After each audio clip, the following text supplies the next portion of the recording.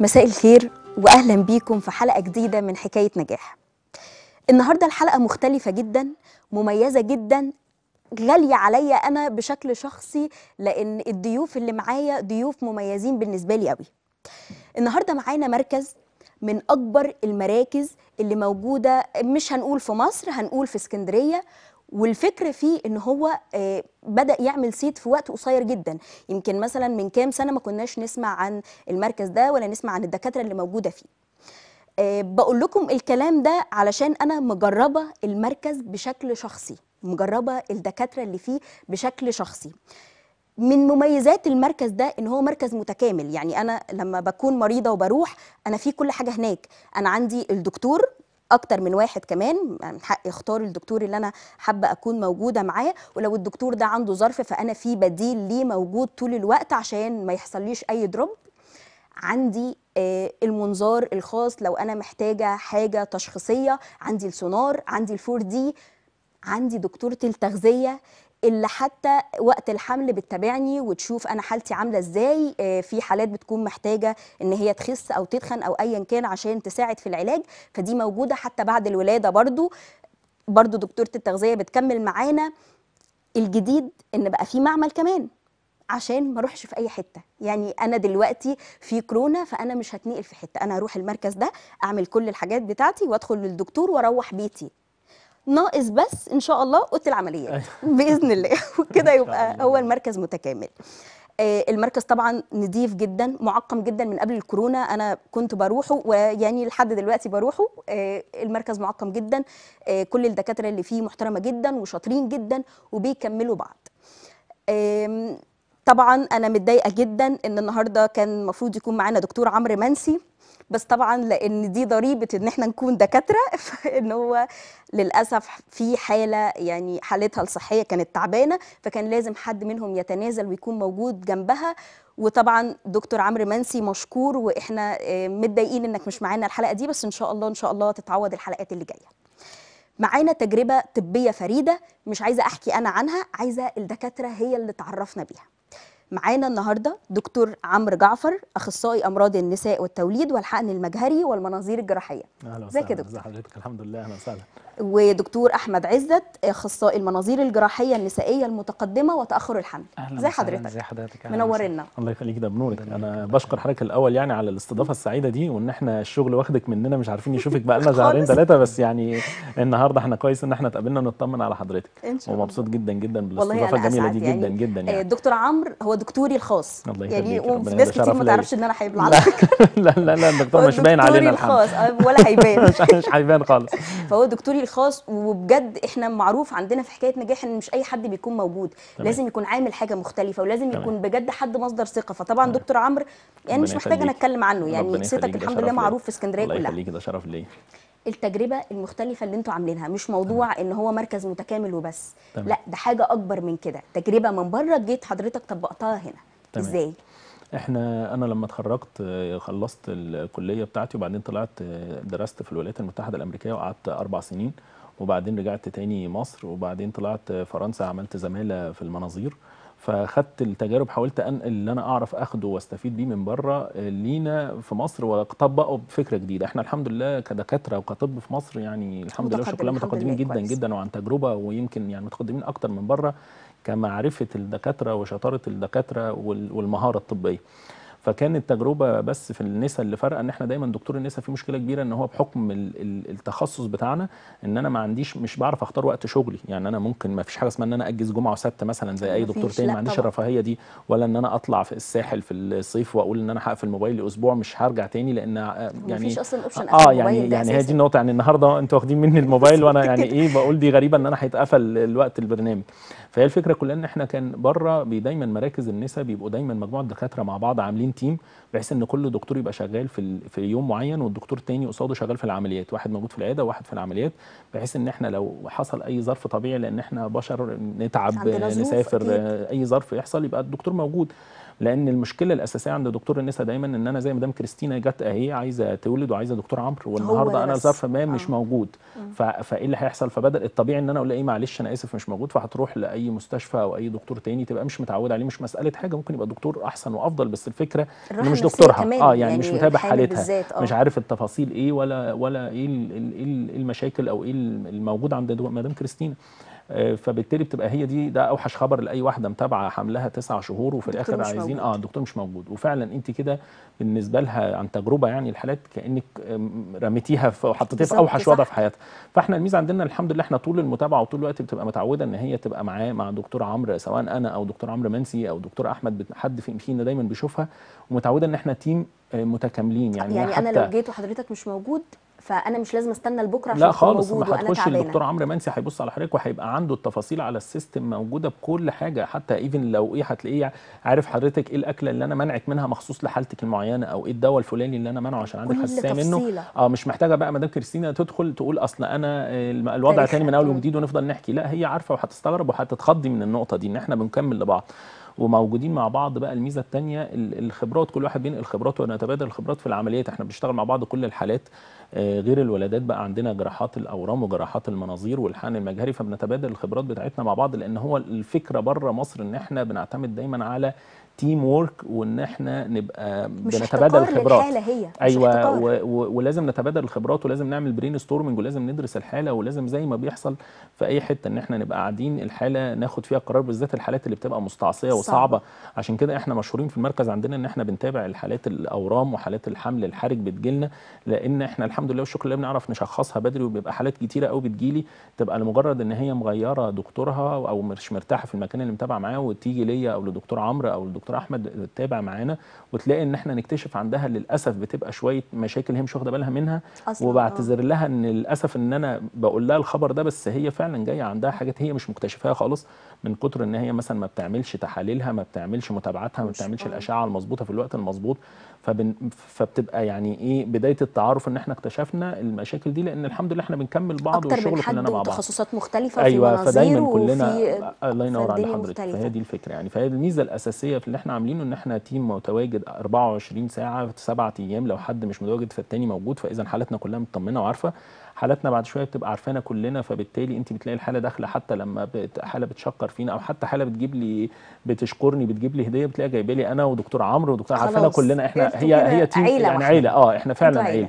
وتلاقي في الآخر خد واخدة علينا كلنا وحالات الدكتور عمرو اللي ما شافتنيش أو حالتي اللي ما شافتش الدكتور عمرو عارفانا وحافظانا من من ال من صورنا من العيادة. فإحنا متواجدين طول الوقت. بنحاول نحط ال الأشعة الفور دي والمعمل والدكتورة التغذية وكل ده اللي أنا بحاول اخلي آه إن حضرتك بس أريحك على قد ما أقدر وأجيب لك أحسن الخبرات في وأحسن الأطباء في كل الفروع دي. يعني أحسن معامل موجودة أحسن دكتورة أشعة ودكاترة أشعة team كامل ودكتورة التغذية نفس الحكاية. فإحنا بنحاول نوفر عليك الطلوع. زي ما قلت كده حضرتك ناقص بس أوضة العمليات بالظبط كده. وما نطلعش يعني بره كان من خالص الحاجات برضو اللطيفة جدا إن لما كنت بروح أعمل ال 4D فدكتور عمرو يقول لي لا والمرة الجاية نعمل عند دكتور مختلف هو أيوة. عنده options عندنا team وأنا عارف كل حد وده يشوف مين. حاجة وده أيوة يشوف. حاجة مش فكرة إن هو واحد وده بتاعي ومحدش. يجي جنبه لأن لا إحنا قاصدين برضو تيم الأشعة اللي عندنا دكاترة الأشعة متخصصين كل حد متخصص في نقطة أكتر من التاني فدايما هتلاقينا كل واحد على حسب حالته هتلاقينا أنا بقول لحضرتك لا اليوم ده مش هتعمل أشعة روح آه. للدكتور ده فتستغرب الحالة تقول لي ما أنا موجودة عند حضرتك أقول لها آه ما إحنا عشان عايزين ناخد من هنا ومفيش عندنا خالص ممكن يحصل أي حاجة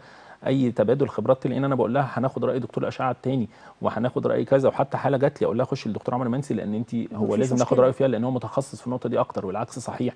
فدي حاجة موجودة عندنا مفيش بقى حرج. يعني نسرق بعض بقى ونسرق ما هو الحمد لله لله ما عندناش الكلام ده. صاحبي ما أنا بقول لحضرتك- في السوق دي العادية. لا ما هو الحمد لله. اولا إحنا لازم نؤمن كلنا إن الرزق ده بتاع ربنا وهو مكتوب لعمرو أو أي كان مين هيوصل لنا. لو إحنا مستخبيين من الرزق هيوصل لنا. أمين. النقطة التانية إحنا جربناها فعليا واقعيا. لأن ممكن حد تاني يقول لك ده أنتوا ما فيش دكاترة يفتحوا في وش بعض عيادتين لا إحنا فاتحين في نفس كده. المكتب يعني أنا بقعد على المكتب الصبح ده لو مش في موجود أنا نفس المكتب آه يعني أنا ببقى موجود الصبح دكتور عمرو بالليل والعكس صحيح والحالات بتدخل بتسأل هنا وهنا وبعد شوية لما بيبقوا المكان بنبقى دكتور النساء بيبقى دايما دكتور العيلة فتلاقي عيلة كاملة معانا آه. فبعد شوية بيبقوا عارفين وبعد شوية حتى يجوا يهزروا معانا الست تيجي تتابع معايا وأختها تتابع مع دكتور عمرو منسي وهكذا ده عادي خالص خلاص. بتتابع وتجرب هنا مرة وهنا مرة وهنا مرة وتحب فهي الحمد لله هي إحنا همنا بس إن إحنا نبقى نحاول نعمل أكتر رعاية طبية ممكنة ومحترفة ونحاول نوفر ال- ال- الخدمة بقى بأسهل شكل ليكوا ولينا برضه ولسه إحنا ممكن نكمل يعني ممكن يبقى في دكاترة أكتر وحاجات أكتر آه إحنا ال team بيكبر يعني الحمد لله ما هو ال team كل شوية آه يعني إحنا. دلوقتي ثلاثة في ال team مع دكتورة التغذية مع دكاترة الأشعة فتقريبا إحنا 10 أطباء في المركز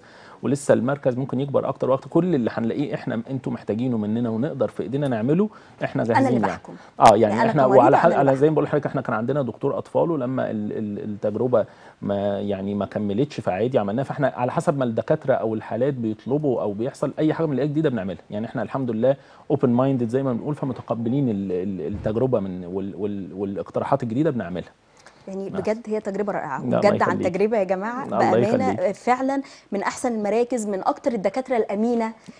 أمينة دي بقولها لأن أنت ممكن تقول لي على دواء معين مش لازم. ملهوش لازمة. آه الناس كلها بتكتبه بس ده ملهوش لازمة. آه ده مش هيفيدك في حاجة. دي حاجة أنا عمري ما شفتها. يمكن أنا مش أول حمل. فطبعا أنا شفت ده. لا ربنا يخليك. سؤال الساعة. تمام. أنا حامل وفي كورونا. تمام. والمعروف إن أنا أقل مناعة من غيري. الأسوأ. أصل كمان قالوا اللي عندهم جيوب أنفية معرضين أكتر فأنا جيوبي الأنفية باظت. واللي عندهم حساسية معرضين فأنا جالي تمام. حساسية وأنا أساسا معرضة إن أنا يجيلي اكتئاب يعني تمام. أنا already هرموناتي بايظة فأنا دخلت في mood اكتئاب رهيب تمام إحنا معرضين قوي كده يعني أنا ممكن يجي لي وأنا قاعدة في الشقة كورونا إحنا معرضين. وهي الفكرة كلها إن بس الأول يعني الفيروس بتاع الكورونا هي حاجة جديدة بقى لنا 3 4 شهور فما فيش. كلام فيها مؤكد. يعني مش عارف أقول لحضرتك حاجة مؤكدة. بس اللي لحد دلوقتي في الثلاث شهور اللي وصلنا له من الخبرات أو الدكاترة ومن تبادل على كل دول العالم ال- عامة إحنا أي سيدة حامل هي مناعتها بتبقى متغيرة. يعني أقل من الطبيعي. فبالتالي حتى عشان كده في من غير كورونا في العادي حضرتك لو قعدتي مع حد عنده دور برد بتاخديه أسرع. بيجي لنا دور التهابات أسرع من العادي أي حاجة بتجي لنا أكلنا أكلة مش كويسة بيجي لنا منها نتعب أكتر من العادي اذا ففي الكورونا إحنا بنخاف عليكم أكتر من العادي لأن. ممكن تنتقل الفكرة في الكورونا إحنا مش بنخاف على الكورونا عشان الحمل إحنا بنخاف عشان صحة الأم لكن ال ال يعني أنا مش عايز الأم تتعب أو تدخل في عواقب يبقى تؤدي إلى انتهاء الحمل وفي نفس الوقت هنقول الحمل ربنا هيعوضه لكن الفكرة إن الأم نفسها ما تتعبش. تقدر تقوم. فعشان كده ما ينفعش لما إحنا بنطلب من الحالات هي الحاجة الوحيدة هنا لازم نطبق قاعدة الوقاية خير من من العلاج.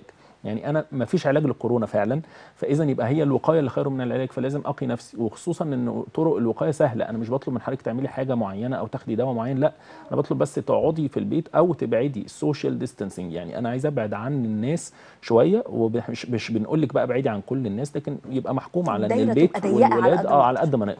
لأن أنا برضو بطلب من الحالات وبلاقي في الآخر مفاجآت إن الحالة تقول لي إيه أنا قاعدة في البيت يا دكتور هو زي ما قلت لي فتكلمني تسألني سؤال ألاقي جنبها 10 أفراد بيتكلموا أقول لها انت فرح طالع تقول لي اصل معلش أنا النهارده و- عاملة محشي بقى فعازمه الناس كلها عاملة كيكة هي فهي النقطة فعلا خلاص. إحنا الحكمة إن إحنا ما نقربش ومفيش حاجة اسمها إن فلان شكله كويس فمش معدي أو ما عندوش كورونا هي الفكرة إنها ممكن تيجي للناس وممكن ما يظهرش عليها آه. الأعراض ولا السخونية ولا الكحة ولا الزور فبالتالي أو ممكن هتبقى هتظهر بعد كام يوم فما فيش حاجة اسمها إن أنا اامن إن ده شكله كويس أو شكله طبيعي فما تقلقش يا دكتور فالنقطة الوقاية الحاجة الوحيدة إن في إحنا نقعد في البيت. ولما نتحرك مع الناس هنلبس كمامة اليومين دول لأن كان الأول بيقول ما لا ينتقل عن طريق الهواء بقوا يقولوا ينتقل. شوية منظمة الصحة العالمية إنه بينتقل عن طريق الهواء بس الناس الاكثر خطرا هو الدكاترة وبالذات الدكاترة اللي بيتعاملوا في العناية مع الحالات. لكن إحنا بقينا نقول عشان الحامل مناعتها قليلة فهنعمل وقاية أكتر فهنقول لها البسي كمامة على طول طول ما بتتعاملي مع. الناس. أساسي. يعني ولازم. طيب مش لابسة كمامة يبقى هي ال social distancing لأن لازم يبقى بيني. وبين اللي قدام متر ونص المترين زي ما أنا وحضرتك قاعدين. ولو حد عطس في المكان أو كح أو كده لازم أبعد في المكان لأن هي- هيقعد الفيروس في الهواء. آه لأن هيقعد في الهواء فترة طويلة. مش زي ما الناس فاكرة بيقعد دقيقتين ويقول ويقع آه، لا يعني هو ممكن يقعد. آه آه ممكن يقعد خمس ست ساعات في الهواء. فلهذا السبب ناخد بالنا. والوقاية الثانية بقى الكحول والكلور. بس كل حاجة لمكانها. الكلور مش لجسمنا. الكلور ده للأسطح. وهنعمله مخفف. والكحول الكحول بالراحة. عشان لايدينا آه مش كل شوية عشان هيعمل لنا برضو آه، آه، حرق حروق. في إيدينا والكلور للحامل مشكلة كبيرة جدا عشان ما يجيلكيش حساسية الناس كتير قوي يعني من الكلور بيجي لها حساسية في صدرها آه. لا وصدر حضرتك تيجي لك كحه فتشكي بقى إن عندك كورونا لكن أيوة هو من. كتر ال- الكلور ما بنستخدمه وناخد بالنا وإن إحنا يعني هو البعد عن الناس وإن المشتريات والحاجات اللي. أي حاجة بتيجي من بره البيت لازم نتعامل معاها كان عليها كورونا فهننضفها وهن وهنعمل العناية أو الرعاية المناسبة ليها. قبل ما إيه قبل ما نتعامل مع الحاجة. بس هي دي الفكرة. لفترة مؤقتة والحمد لله والشكر لله إحنا في مصر الأمور الحمد لله مسيطر عليها يعني. الحمد لله والشكر لله. أحسن بكتير من بره. بس هي دي النقطة. فهي كان في نقطة بس كنا لسه بنتكلم مع الدكتور أحمد عليها موضوع إن إحنا هل في حاجة مؤكدة إن البيبي, البيبي ينتقل له الفيروس ولا لا؟ من الأم. فهو الدكتور أحمد كان لسه بيقول لي على الموضوع ده إن هو قرأ حاجة كده فهيقول لنا عليها بقى. هو يعني لغاية دلوقتي زي ما قال دكتور عمرو هو عشان الموضوع recent فما فيش آه، حاجة أكيدة ولكن ما فيش أي حالة أثبت إن هي بتنتقل من الأم إلى ال- baby عن طريق المشيمة أو عن طريق الدم أو الكلام ده آه، وحتى الحالات اللي هي جالها بعد العملية فإحنا برضو ما نقدرش نحكم عليها جت كان هو؟ ال baby ده خد العدوى دي أثناء العملية في أوضة العمليات ولا خدها في الحضانة ولا أخدها لما كان مع الأم مثلا تحت في الأوضة بتاعتها بره خالص. يعني مش عارفين آه، المصدر لحد دلوقتي. بالظبط. فاحنا بقى دي فكرة إن الوقاية فعلا خير من العلاج. بناخد بالنا كلام من ده. نحاول نحافظ على صحة الأم لأن صحة الأم لما تتأثر عن طريق كورونا ده هيأثر على البيبي برضه. زي مثلا. الحالة آه المشهورة اللي كانت في اسكندرية. وقالوا ده. لا هي الحالة حصل لها ولادة مبكرة فالبيبي اللي نزل في الشهر السادس ده توفى بس مش من الكورونا هو توفى من الولادة المبكرة. بس كده لكن إحنا إحنا متخيلين كل ده إن هو جاله كورونا عشان ماما عندها كورونا لا هو الكورونا لما بيأثر على الأم الأم صحة الأم بدورها لما بتتأثر بتأثر على بتأثر خلاص. على. البيبي فولادة مبكرة بز- والموضوع بينتهي. طيب يعني طمنتونا يا دكتور إلى حد ما كان. دكتور عمرو لسه بيقول لي إنه في حالات بتبقى بقى لها 15 سنة أصلا ما بتجيش العيادة وخلاص هي جاية بقى الأسبوع ده أيوة. والدكتور نفسه بيقول لهم امشوا يمكن آه، حتى لما باجي أروح يقول لي يا أول العيادة يا آخر العيادة يعني مش في أي وقت تيجي كده وخلاص لا يمكن دكتور عمرو من الدكاترة اللي بتقعد تقول ما تجوش ما تيجي ليه؟ انت حالتك مستقرة جاية تعملي إيه؟ فالحمد لله يعني الحمد لله آه، ان أنا طبعا معاك. يا ربنا يخليك إحنا بس. هي النقطة إن إحنا ساعات الناس بيزعلوا مننا والله أنا بالعكس أنا من مصلحتي الأول إن أنا طبعا الحالات تجي طبعاً. وأنا لما هتجي لي 10 حالات في العيادة في اليوم أحسن ما يبقوا واحدة. بس هي النقطة كلها إن إحنا المصلحة دلوقتي أهم. عشان كده إحنا الناس ساعات بيزعلوا مننا بنقول لهم إن إحنا فاتحين طوارئ. يعني ما ينفعش تجي لي حالة تقول لي أنا جاية أطمن على اللولب ما وضع وضعه صح ولا لا يا دكتور؟ وما اسالها أنت عندك نزيف أو وجع أو حاجة تقول لي لأ بس عشان بقالي خمس سنين أو 10 سنين مركباه فهي. أنا والله لمصلحتها. أنا مصلحتي أكيد ما هي ما تجيلي هبقى أنا استفدت حتى ماديا. ماديا طبعا. لكن أنا النقطة كلها إن هي فعلا أنا لازم الناس يقعدوا في بيوتهم وما يجوش غير للضرورة. أنا حتى الحوامل لما بيكلموني يقولوا لي ما جيناش تابعنا مثلا متابعة الشهر ده أقول لها لو الأمور مستقرة وحاسة. بحركة البيبي والدنيا كويسة تعالي لي الشهر اللي بعده. التحاليل اعمليها لو مش. عايزة الشهر اللي بعده طالما الأمور مستقرة. لكن لو حمل حرج عندنا أي عوامل الحمل الحرج هقول لك تعالي لي وهو ده بقى إحنا مضطر.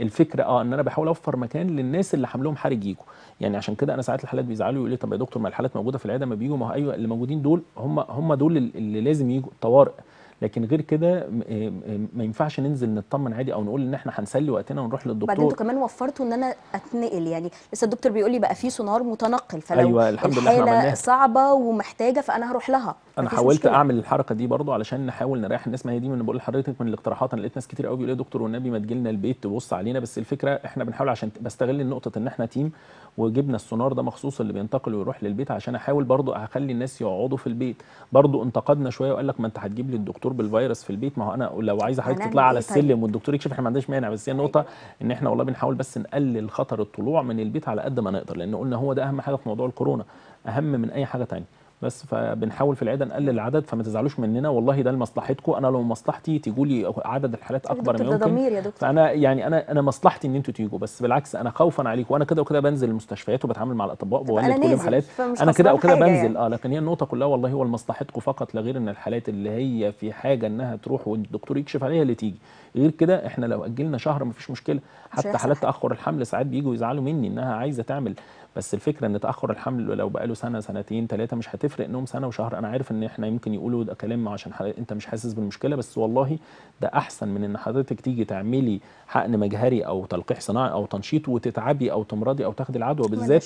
زي ما حضرتك بتقولي أنا عندي مشكلة كبيرة إن أنا اللي بتيجي العيادة بتلاقي كل الخدمة فبالتالي لو جالها حاجة هتقول لك أنا من العيادة مثلا. فأنا أيوة بقول. لها ما هو يمكن من الطريق. فإحنا فعلا بنحاول نوفر كل حاجة على قد ما نقدر وما نبقاش عاملين زحام على قد ما نقدر في العيادة. طيب. طبعا إحنا في موضوع من الموضوعات اللي منتشره قوي دلوقتي واللي بقى عدد كبير قوي قوي قوي من السيدات عندهم تكيس المبايض. تمام. مؤخرا عرفت إن في فرق بين متلازمة تكيس المبايض وإن أنا يكون عندي كيس على المبيض وهشيله وخلاص. تمام. يمكن ناس كتير مش فاهمة الفكرة دي. هو يعني إيه أصلا تكيس المبايض؟ بصي هو حضرتك دلوقتي موضوع تكيس الموبايل ده موضوع يعني كويس جدا إن حضرتك بتتكلمي فيه لأن ده موضوع شائك. وبعدين إحنا تقريبا هو بيجي بنسبة 10% للسيدات. يعني أنا كل 10 سيدات هيبقى في منهم واحدة عندها تكيس ودي نسبة. كبيرة جدا. الفكرة كلها إن أنا إمتى الست تعرف إنها تكيس عشان ما نبقاش بنتكلم كلام برضو علمي ونلخبط كتير. هو التكيس المبيض ده حاجة الاسم ملوش علاقة شوية يعني ملوش علاقة هو عشان حاجة بالمبيض المفروض تكيس المبيض ده يبقى اسم للدكاترة وإحنا نسميه اسم تاني عشان الناس ما يتلخبطوش. تمام. لأن كيس على المبيض ده موضوع كبير بيبقى عندي كيس طالع فوق المبيض بيحتاج إن إحنا نشيله أو كده وده دكتور أحمد هيكلمنا عليه عشان بالمناظير بالذات. تمام. لكن إحنا تكيس المبيض دي صفة للسيدة يعني هي الصفه عندها إن المبيض عندها نشيط. وبيطلع بويضات أكتر شوية وبيبقى أكتر نشاطا من المبيض العادي. طيب يجي لي أنا إزاي؟ أو أنا واحد كواحدة في البيت قاعدة هشوف آه المبيض بتاعي يعني. نشيط. إمتى أقول أنا هروح للدكتور؟ هشك إن أنا عندي إن أنا أول حاجة سواء بقى آنسة أو متزوجة أو لا إن أنا تبقى الدورة مش منتظمة. يعني أنا تبقى المفروض إن الدورة بتاعتي تيجي من واحد كل 21 يوم ل 35 يوم تقريبا. يعني دورتها تيجي كل شهر. ما بتجيش الدورة بتيجي تيجي تقول لك يا دكتور أنا الدورة بتجي لي كل 3 4 شهور. لكن مش بتيجي شهور. كتير. مش بتتأخر. وممكن ما هي لو بتيجي كتير قوي بس ده ساعتها هيبقى اسمه نزيف مش دورة إن هي بتيجي. كل أسبوع أو 10 آه. أيام. ما هي النقطة دي. أنا أي دورة غير منتظمة سواء قليلة أو كتيرة بس هو مع تكيس الموبايل بيبقى أكتر إنها أقل. يعني بتيجي تقول لك أنا بتجيلي في السنة ثلاث مرات. بتجيلي في أيوة السنة فعلا. مرتين. وهو الفكرة إن تكيس الموبايل دي بتبقى حاجة السبب الأساسي مش معروف لكن في عامل وراثي على عامل إن إحنا حاجات بتبقى موجودة زي زيادة الوزن تزود شوية من ظهورها أهم الحاجات يعني. آه من أهم الحاجات. زيادة وزن. فبالتالي بتبدأ إمتى؟ تبان على السيدة هي بتبقى حاجة مولودة بيها صفة زي ال- الطويل القصير اللي عينه سوداء اللي عينه خضراء يعني حاجة صفة يعني موجودة. هتفضل معاها العمر كله طول العمر. ما هي دي نقطة لازم. نفهمها. بس بتظهر من سن 17 18 سنة لحد تقريبا سن 40 سنة أو 38 سنة. فعشان كده إحنا لو شخصناها بدري هنعرف نسيطر بدري ونتعايش معاها. إحنا كده وكده مش بنعالجها. هي دي بس المفهوم. أنا ما فيش حد لأن ساعات تجي لي وتقول لي أنا اتشخصت بتخيس والحمد لله اتعالجت منه. فما بقاش فاهم. أقول لها آه حضرتك قصدك كيس على بيبي المبيض أولاني شلتيه فخلاص لا خلصنا آه هي دي حاجة بنتعايش بيها على طول. كل مرحلة بقى وليها إيه؟ على حسب بقى. إحنا. آنسة أو متزوجة ومش عايزة أولاد ده علاج. يبقى أنا هنظم لها الدورة بس. أو إن أنا عايزه إن أخلف فبالتالي. يبقى إحنا هنشوف الطرق اللي هنعمل بيها الفكرة كلها إن أنا إمتى هتجيلي العيادة استكمالا لكلامنا لو هي عندها تأخر في الدورة تمام. أو لو عندها حبوب بتطلع كتيرة حب الشباب بالذات أو لو عندنا شعر زيادة شوية ومش شعر إيد أو رجلين عشان ناس كتير مش فاهمينه لأن دي بتبقى قابلية لكل سيدة لأ شعر اسمه midline hair يعني أنا شعر بيبقى في منطقة الدقن أو منطقة منتصف في الصدر. أو في البطن آه إن أنا ألاقي شعر ومش شعر عادي شعر بيبقى كورس هير يعني شعر تخين شوية من يعني زي شعر رجولي سن آه زي شعر الدقن آه، أو الشنب الله ينور عليك م-م. فعشان كده فأنا ال- الحاجات دي مع إن ممكن يبقى في زيادة الوزن وأكتر نسب الناس اللي عندهم تكيس موبايل بيبقى عندهم زيادة وزن هو ممكن يجي في الناس اللي ما فيش زيادة وزن بس حاجة من الحاجات دي أول ما بتشتكي إن هي عندها تأخر في الدورة مع شعر زيادة وحبوب شباب زيادة وفي زيادة وزن ولو هي متزوجة تأخر حمل يبقى خلاص دي على طول لتكيس بتبقى. هي آه عارفة بنفكر تكيس الموبايل طيب عرفنا جت بقى للدكتور وعرفنا لازم نأكد التشخيص ده. إحنا دلوقتي شكينا وخدنا التاريخ فبنأكده إزاي. عشان كده دايما بنقول ما ينفعش ناس كتير قوي بيزعلوا مني على الفيسبوك أو على الواتساب لما تقول لي الأعراض دي إيه؟ وتقول لي اديني الدواء. إيه؟ لازم عشان أشخصه وأبصم بالعشرة إن هو تكيس مبايض بنعمل أشعة تلفزيونية اللي هو السونار ونقرر بيه نشوف الصورة التكيس المبايض. ولما نقرر ونأكد بيها إن دي صورة تكيس مبيض بنعمل التحاليل هرمونية نتأكد. لأن هي فكرة تكيس المبايض إيه؟ عشان إحنا معانا الصور نتكلم. تمام. إحنا دلوقتي دي صورة مبيض طبيعي. آه، آه، ما فيهوش ما فيهوش حاجة مش شايف آه ده كده صورة مبيض طبيعي. لا ده الكيس. آه لا ده كده ال- المبيض الطبيعي. ده طبيعي ما آه، فيهوش اللي حاجة. ده بيبقى ده فيه زي أي بويضات الكور. السوداء اللي إحنا شايفينها دي دي آه، ده البويضات. الطبيعية بالعدد الطبيعي بتاعها. لكن في صورة تانية هنجيبها كده. أيوه ده كده ده ده الكيس. عن- عنقودي. أيوه ده اللي فرق. ما أنا بقول لحضرتك هو ال- المبيض عامل أصلا زي حباية التوت. عليه شوية آه، كور كده آه، آه. بتبقى هي دي البويضات. أنا عندي هنا بزياده شوية شفتي فرق العدد بدل ما هم ده- ده 10 باين بويضات؟ جداً عندي آه يعني، 20 آه، أو ده 30 باين هو ده. الاسم عشان كده إحنا بنسميه تكيس مبيض بس الناس مش فاهمين. هي الفكرة لخبطة هرمونات. هي بيبقى السيدة عندها زيادة في هرمونات الأنوثة مع زيادة في هرمونات الذكورة كمان. مع إن الإنسولين الجسم مش بيعرف يقراه شوية. فاللخبطة دي تؤدي هو عشان البويضات تطلع وتبقى في بو... آه، دورة تحصل منتظمة فلازم بيبقى بيحصل تحت تناغم من الهرمونات مع بعض. فما بيبقى عندي اللخبطة دي من الهرمونات الجسم, الجسم بيتلخبط. آه مش بيعرف يعمل الدور. فنلاقي البويضات تطلع إحنا كل شهر بتطلع 10 ل 15 بويضة في المبيض المفروض واحدة منهم تكبر وتكمل وهي اللي يحصل لها لما تحصل نمو معين وتبقى mature أو النمو اكتمل تطلع من المبيض ده عشان تاخدها قناة فلوب لو في حمل بقى يحصل. تمام. فأنا عندي هنا بيحصل لي وقوف شوية ده بتكبر ال 10 15 بويضة مع بعض ويقفوا. ويقفوا. نعمل عليهم حالة pause كده يثبتوا. مفيش واحدة منهم تكبر زي العادي وتفضل اعدالنا تعمل المنظر ده في المبيض فعلشان كده ما تحصلش الدورة. فتيجي وتفضل لي اعدالي البويضات دي. فده اللي ياخر ويلخبط لي ال- الدورة تجيلي كل 3 4 شهور مرة بس ما كل 5 بحسش شهور. بمغص ولا حاجة هتحسي بقى ما هتحسي بعد شوية ما هو أول شهر مش هنحس بمغص تاني مم، شهر تاني شهر. لما مم. بتتراكم. ما هي المشكلة الكبيرة إن هي بتيجي عند 17 18 سنة وإحنا عندنا مشكلة كبيرة إن الأنسات بيخافوا يجي يكشفوا ما بنحبش آه آه طبعا. مصر ما بنحبش وبيخافوا وبيفتكروا إن أنا لازم أكشف كشف نسا. فتقول لك أنا هكشف إزاي وأنا أنسة؟ لا هو إحنا الفكرة إن إحنا بنعمل زي ما نقول بناخد التاريخ وبنعمل تحاليل وأشعة واول ما نأكد إن هي عندها تكيس مبايض بنقول لها ألف مبروك. وهي تستغرب ألف مبروك أنت فرحان يا دكتور؟ أنا فرحان عشان لقيت سبب. وبقول. لك تشخيص وهتتعايشي معاه. آه هو من أصعب التشخيصات وهنحتاج إن إحنا نتعايش معاه فترة طويلة. بس ألف مبروك إن أنت عرفتي إيه السبب. بدل ما تجيلي ويبقى عندك تأخر دورة وأنا مش عارف سببه والف حوالين نفسي كدكتور مش عارف أطلع السبب. فإحنا عرفنا لازم بقى نتعايش معاه وناخد العلاج المظبوط. هي الفكرة كلها. ان إحنا هنفرق يبقى دي تكيس المبايض إحنا قلنا الاسم ما يلخبطناش هو عبارة عن لخبطة هرمونات ومستمرة خلاص ومستمرة معايا طول العمر معاها. ومش كيس على المبيض بقى اللي الدكتور أحمد يقول لنا موضوع الكيس اللي على المبيض ده إيه دي حاجة يعني تانية خالص ممكن يبقى عندي كيس واحد بس كده آه، خلاص. وأشيله وارتحت بالظبط أيوة. زي ما دكتور عمرو بيقول هو إحنا يعني أهم حاجة الأول إن إحنا بنفرق ما بين التكيسات اللي على المبايض وبين الكيس اللي على. المبيض تمام التكيسات دي بتبقى اضطراب وظيفي يعني في خلل في الهرمونات إنما الكيس ده اضطراب عضوي في كيس موجود على حالة المبيض طارئة. إحنا بنقسمه أنواع ممكن يكون كيس وظيفي ممكن يكون كيس مية ممكن يكون آه، بطانة رحم مهاجرة عاملة كده إحنا آه، بنقول عليه كيس آه. شوكولاتة ممكن يكون كيس حميد ممكن يكون كيس خبيث وبناء عليه إحنا لما بنشخصه الأول بنعمل التحاليل بتاعتنا ونعمل الأشعة بتاعتنا نشوف برضو منظره على الإشعة عامل إزاي التحاليل عاملة إزاي وبناء عليه بناخد طريقة العلاج بتاعته بنحددها مثلا آه، مش لازم يكون نعمل منظار ممكن يكون كيس هو صغير مثلا المنظار إحنا فاكرين دايما المنظار للتشخيص هو هو المنظار الاتنين. للعلاج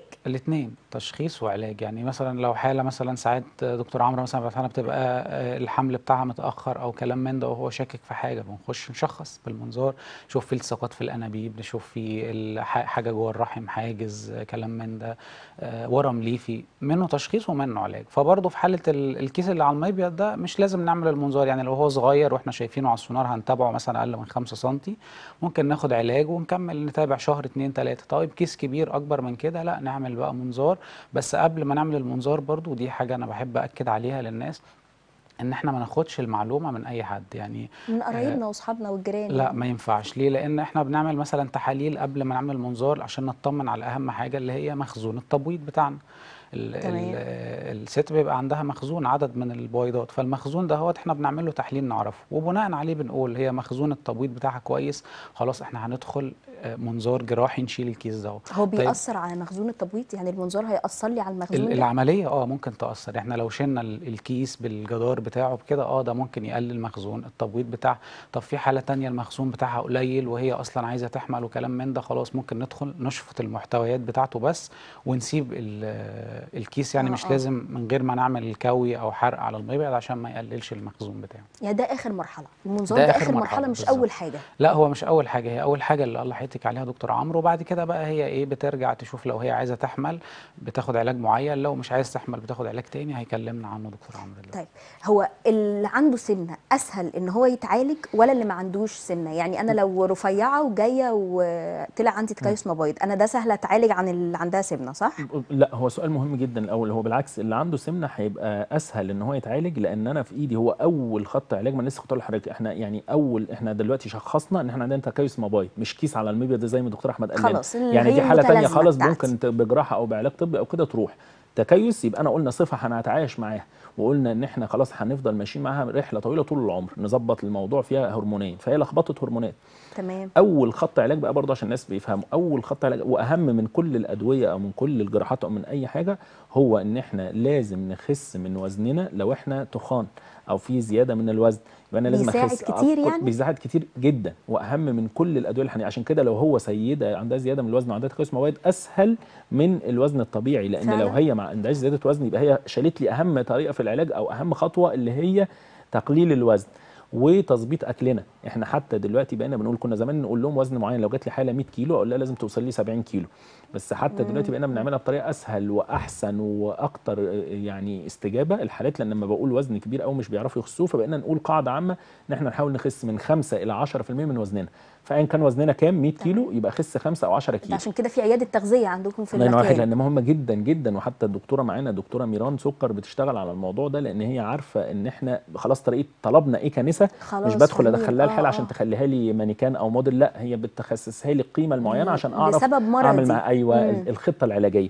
فإذا أول علاج للتكيس المبيض إحنا المفروض نقسمه لو سيدة عايزة حمل أو لأ مش عايزة حمل أو أنسة لكن في كل الأحوال إحنا عشان برضو في مفهوم خاطئ إن أنا تجيلي وتشخصناها تكيس مبيض وهي متجوزة وعايزة تحمل. دكتور اعمل لي تنشيط. لا أنا لازم الأول قبل ما انشط لأن اتفقنا إن عندنا البويضات قاعدة مكانها مش بتطلع. مش بتتحرك. فأنا لو نشطت البويضات دي لأن دي حاجة مشهورة قوي وغلطة مشهورة ممكن نعملها هتطلع لي البويضات هنسميها شوية بويضات ممششة قديمة موجودة مكانها فهطلعها انشطها هكبرها وأشوفها حلو بالسونار وأقول لها يلا هنعمل علاقة في وقت معين أو تلقيح أو كده بس مش هيحصل حمل. ولو حصل حمل يحصل سقاطه لأن البويضه جودتها وحشة. بايظة. فالجنين آه، جودته يعني- وحشة.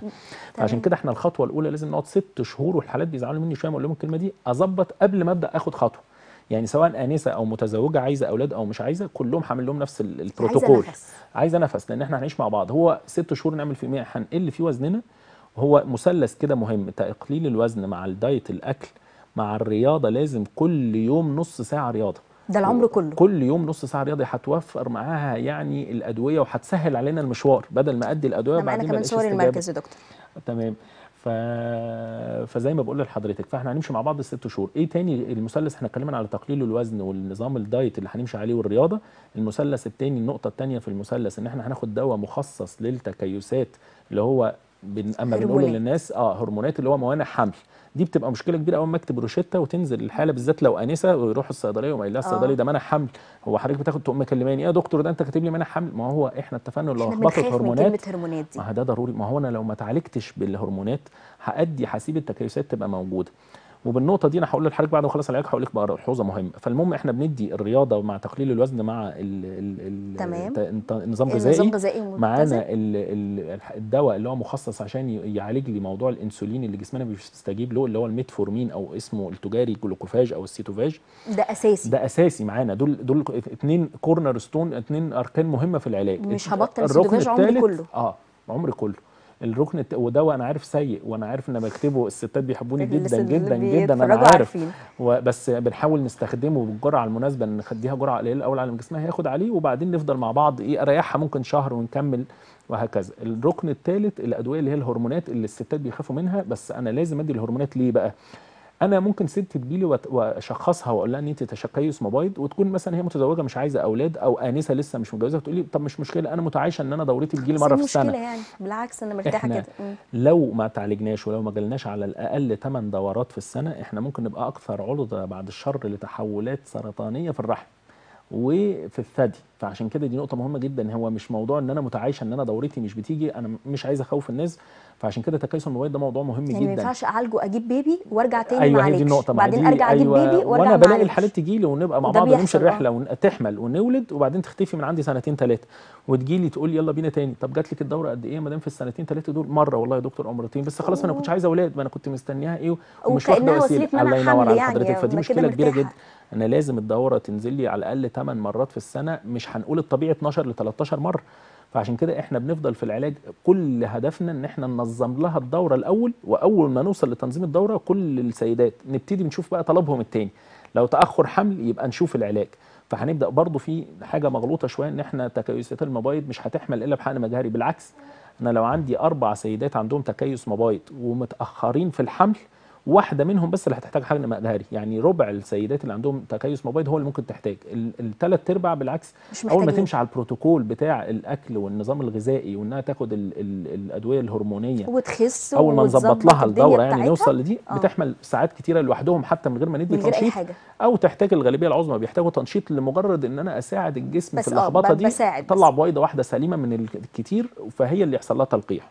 لكن الحقن المجهري مش محتاجينه ومش على طول نتوجه لحقن مجهري الناس النقطة الثانية. موضوع العلاج الجراحي بقى زي ما دكتور أحمد قال مش محتاج المنظار له إلا لحالات اللي هي أنا حالة جربت معاه كل الطرق وخسينا وخدنا الأدوية وانتظمت الدورة وعملت حقن مجهري ومش بتستجيب ليا تطلع لي بويضات أو مش بينجح. كذا مرة نبتدي نستخدم المنظار نعمل بقى الطريقة الجديدة دي. آه اللي هي حاجة اسمها تثقيب المبيض بالمنظار ودكتور أحمد بقى اللي يقول لنا عليها يكلمنا أكتر عليها لأن هي بتبقى ساعات مفيدة. لأن زمان كان في طريقة قديمة فعشان كده دكتور أحمد بيستنى عليها. إحنا المفروض يكون معانا حلقات كتير جدا إن شاء لأنه الله. الموضوع رائع جدا وشيق جدا ومش ده. بس يعني إحنا في مواضيع كتير قوي خاصة بالسيدات وفي آه، معلومات كتير مغلوطة يعني إحنا تمام. بنسمع من بعض إحنا ما عندناش أيوة. مصدر علمي بناخد منه المعلومة. شرفتوني جدا أتمنى. إن الوقت كان يبقى أطول من كده إن شاء الله المرة بكتير إن شاء. الله وأنا سعيدة بجد إن أنتوا كنتوا معايا ضيوف النهارده أنا أنا سعيد جدا جدا. جدا اني شفت حضرتك عشان بقالنا شهرين ثلاثة بنتقابل بعض. فهن- هنيجي بقى العياده كنا. عايزين السونار النهارده ان شاء الله ما النهارده كنا غبنا معانا البورتال معلش شكرا جزيلا ليك أنا مبسوطة جدا وإن شاء الله. تتعوض في حلقات تانية أكتر. آه، فاصل سريع وهنرجع لكم تاني مع فقرة مميزة جدا